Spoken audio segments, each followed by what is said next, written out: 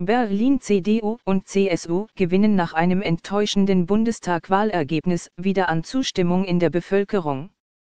Dies geht aus einer repräsentativen Umfrage des Meinungsforschungsinstituts YouGov im Auftrag des Redaktionsnetzwerks Deutschland, RND, hervor. Demnach erreichen CDU und CSU 33 Prozent, plus 1, der Stimmen und liegen klar vor der SPD, 21 Prozent, unverändert.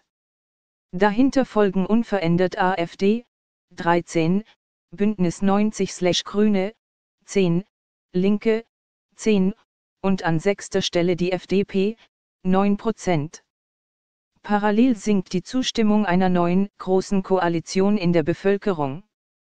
Nur noch 26 Prozent der Befragten befürworten ein Bündnis aus Union und SPD, im Vormonat waren es noch 30 Prozent. 36 Prozent lehnen es ab, Vormonat 33 Prozent. 24 Prozent sehen die Große Koalition mit gemischten Gefühlen, 14 Prozent wollten sich nicht äußern. YouGov hat zwischen dem 25 und 27 Dezember insgesamt 1992 Menschen befragt.